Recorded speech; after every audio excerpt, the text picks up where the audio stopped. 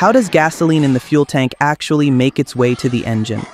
First, two fuel lines are installed, one black and one white. The black line connects directly to the fuel tank. The white line connects to the charcoal vapor line. Gasoline travels through these two lines in two forms, liquid and vapor, before entering the engine. The other ends of these lines are clipped along the underside of the vehicle. The fuel tank is installed first onto the chassis assembly. When the chassis and the body are joined together, the tank is secured underneath the car.